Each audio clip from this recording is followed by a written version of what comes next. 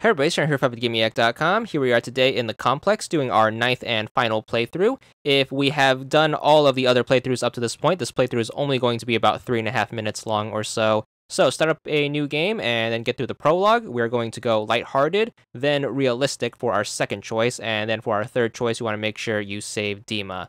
Then when you get past the opening title card, make sure you dismiss the guy in the boardroom. Then when Emily comes in, make sure you pick Let's Go, and then you are going to be out here. This time around, we're going to pick Ambulance as our transport option, and this is going to be the catalyst towards getting this last ending.